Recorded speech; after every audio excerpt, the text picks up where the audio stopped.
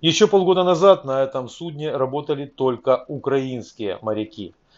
Сейчас большую часть экипажа составляют филиппинцы.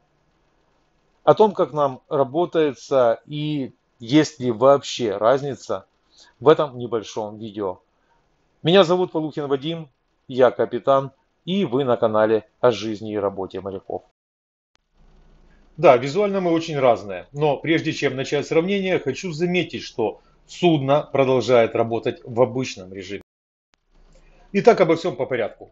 Зарплаты. У матросов первого и второго класса отличия от наших практически нет. А вот филиппинский боцман и особенно сварщики получают гораздо меньше, чем наши. У офицеров наоборот. Филиппинские механики получают на 500 долларов больше, чем получали наши. Квалификация. Может быть мне в этот раз попросту повезло, но все ребята имеют нормальную квалификацию, знают свою работу и, что немаловажно, имеют опыт.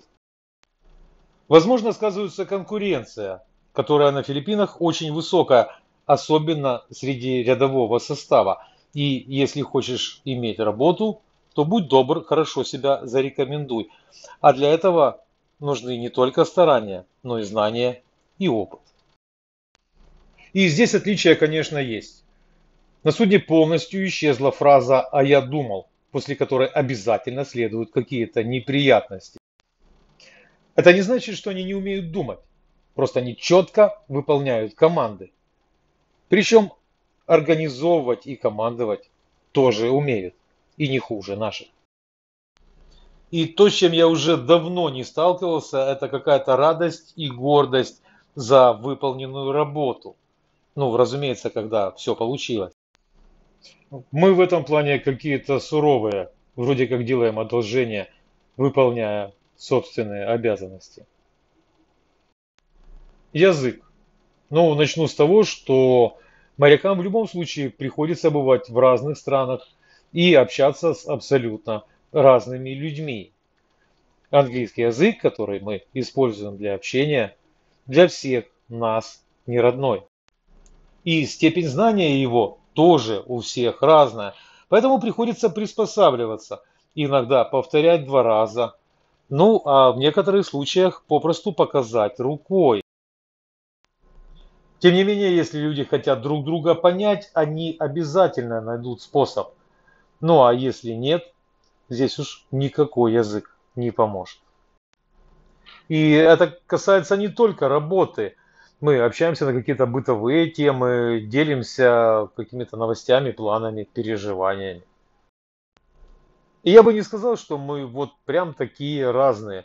Единственное значительное отличие это в питании. У них своя кухня, им нужно значительно больше риса. Для настоящего моряка не имеет значения, какой у человека разрез глаз, цвет кожи, паспорт, место рождения, на каком языке он говорит и какого вероисповедания.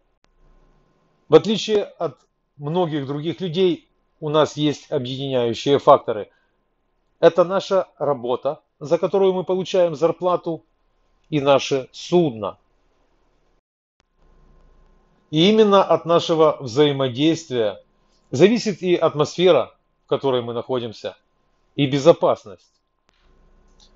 Никто не лучше, никто не хуже, да и быть одинаковыми незачем и попросту невозможно.